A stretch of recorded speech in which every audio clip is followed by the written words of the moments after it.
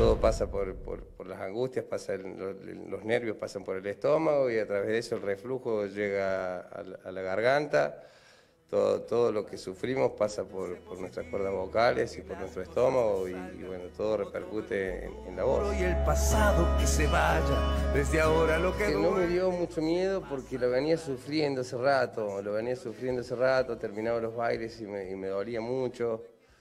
Eh, venía sintiendo que no podía, no, no podía cantar y sentir lo mismo de siempre, tenía que buscar algunas alternativas a la hora de, trabajar y, sentía que algo, algo no andaba bien, me costaba el tragar. Eh. entonces cuando bueno, hice algunos estudios, eh, bueno, era de esperarlo de que, bueno, tenía, tenía pólipos. La vida de Ulises ha sido de golpes, así que no, no es sorprendente.